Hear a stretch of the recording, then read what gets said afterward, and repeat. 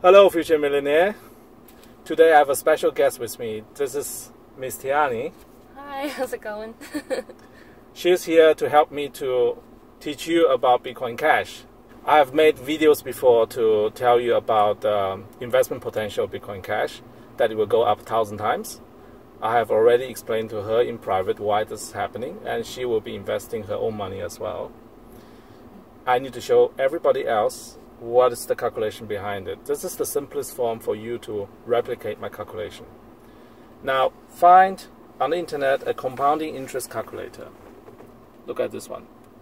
So, once you found a compounding interest calculator, I want you to put in $1,000 as the starting capital and make sure you compound at 100% and make sure the compounding interval is on a daily basis and then make it seven years.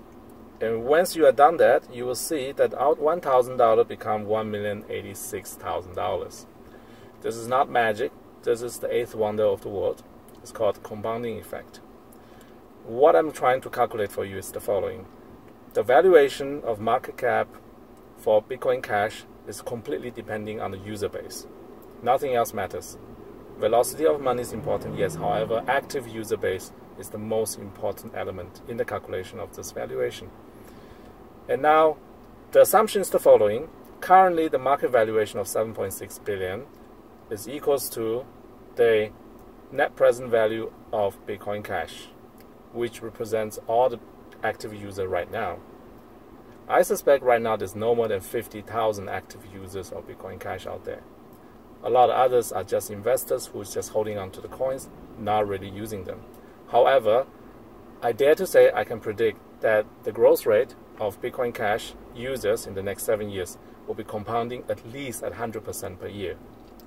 Since people are meeting each other all the time, from my personal experience, I'm able to, on daily basis, give away several Bitcoin Cash to other people and make the compounding rate significantly higher than 100% a year. So based on the compounding rate, you will see the user base of Bitcoin Cash is going to grow 1,000 times over the next seven years. And therefore, the market cap of Bitcoin Cash will also grow by 1,000 times. Everything is compounding. This is the math behind Bitcoin Cash 1,000 folding over seven years. Thank you for watching. See you in the next lesson.